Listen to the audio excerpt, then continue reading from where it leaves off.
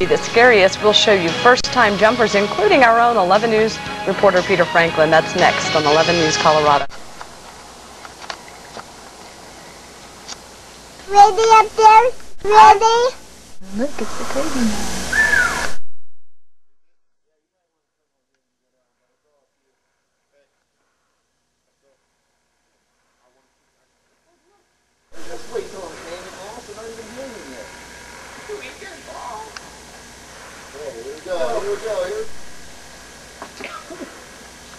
Enthusiasts are putting up their equipment for storage and breaking out their winter gear. At least one group of extreme sportsters are still at it.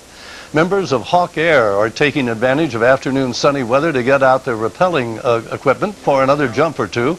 Jerod Hawk and his partner Sean see to it that the beginners in their charge are safely equipped for the vertical journey down the 100-foot cliff. Beginners often say they, that after the first scary moments at the top of the precipice, the controlled push-off and lowering down the side is very exciting. I won't die. I swear you won't I'm not die. worried about dying more than anything.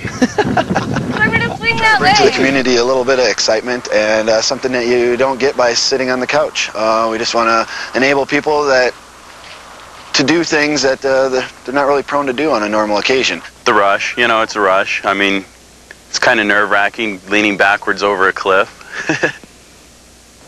Even our own Peter Franklin gets into the act as he tries his ability at pushing off the side of the cliff using a special shoulder harness for extra safety. And you can contact Hawk Air for more information at 640-3826 or at their website at www.mesacenter.net. So far, the rappelling lessons are free.